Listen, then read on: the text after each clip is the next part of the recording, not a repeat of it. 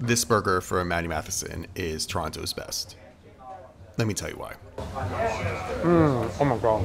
Matty's Pattys Burger Club gives you the choice of a Matty, which is a 7 ounce burger, or a patty, which is the smash burger. Both meat made with a AAA brisket and chuck. I went with a double patty and added a pickled jalapeno mayo along with their fries.